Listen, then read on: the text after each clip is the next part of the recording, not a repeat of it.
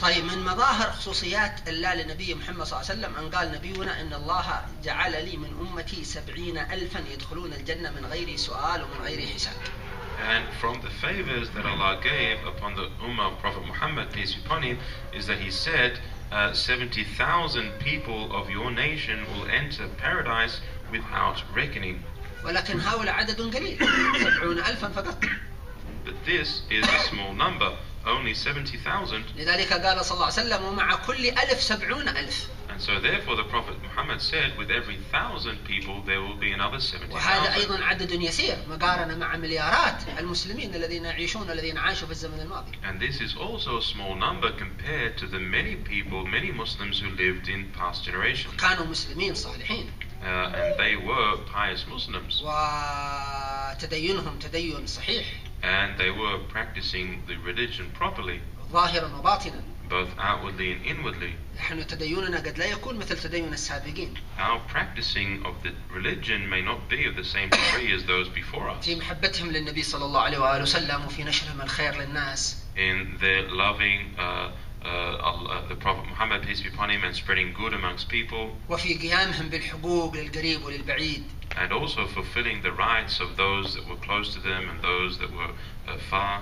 لذلك السابقون قد يأخذون علينا تلك المقاعد سبعون ألف ومع كل ألف من السبعين ألف سبعين ألف So therefore, the previous people may in fact take all those 70,000 seats in paradise without reckoning, والخير موجود في هذه الأمة في كل البلاد and piety and goodness will remain in this community uh, in all lands. مثلا بلدنا هذه حضرموت For example, the land which we come from of Hadramaut, قبل ثمانين سنة 80 years ago, في مدنها الرئيسية هذه in its capital cities, سيئون وتريم or its main cities such as Sayun and Tarim, كل البلاد الناس في البلاد كلها لا توجد عداوة بين اثنين كلهم كأنهم أهل It says all the citizens of these towns or these cities, uh, they did not have any type of conflict amongst them. They were all friends. طيب عينوا قاضي في تلك البلاد And so they appointed a judge in that town. جلس القاضي عشرين سنة يريد أحد يأتي يرفع قضية لعند القاضي ما حد جاء يرفع قضية عند القاضي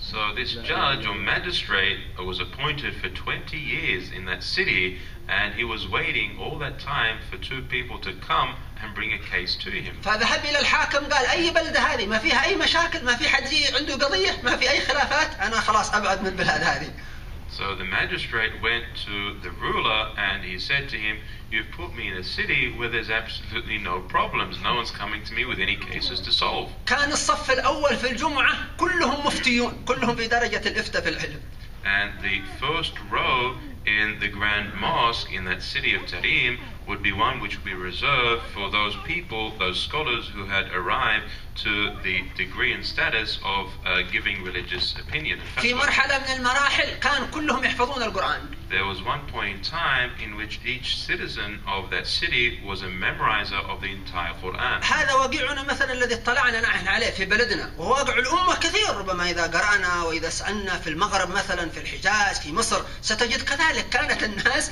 تدين يسير بسيط على محبة وألفة لا مشاكل لا نزاع لا صراع لا بين العلماء ولا بين العوام ولا بين الحكام. ناس على الفطرة على تلقوا الدين اليسير الصحيح فسعدوا به في الدنيا ويسعدون به الآن في الآخرة. هم الآن يتنعمون بهذا. So this, he says, is what was apparent to us in the city that we used to live in.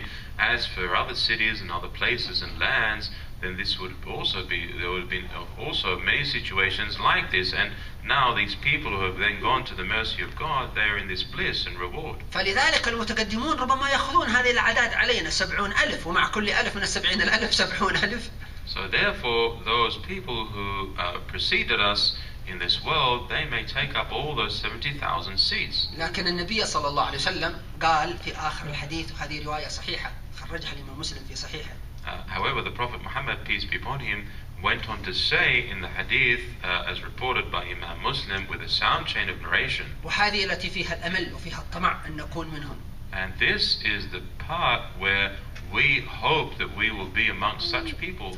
قال وثلاث حثيات من حثيات الرب بعد السبعين الألف ومع كل ألف من السبعين ألف سبعين ألف ثلاث حثيات من حثيات الرب كناية عن ماذا ثلاث يعني قسم عظيمة من الله عز وجل أول وثانيا وثالثا حثيات الرب هذا شيء عظيم كنايات And then uh, he, the Prophet Muhammad, peace be upon him, said, also those that will enter paradise without any reckoning, there will be three lots from the lots of my God.